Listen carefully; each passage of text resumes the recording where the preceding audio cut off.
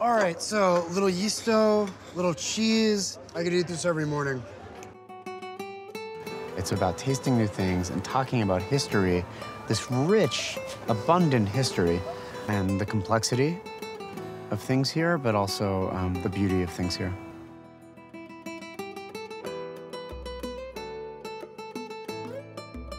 It is so complex, it is so diverse, and this is why it is hard to define it. Up until the late 70s, Israelis ate horrible food. People were ashamed of presenting their grandmother's cooking. People wanted to come here and become Israeli. They didn't really know what Israeli meant.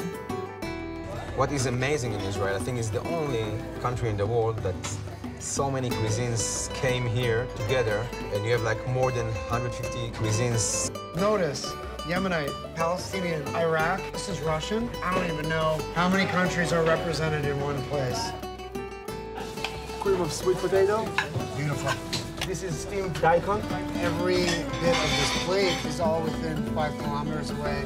I don't use ingredients that cannot grow here. We're making uh, a Palestinian food.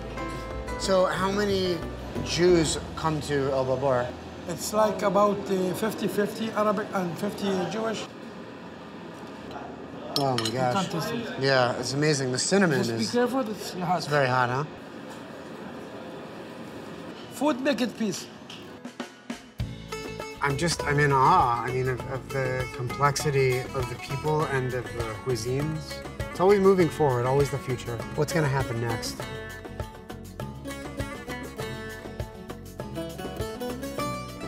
来。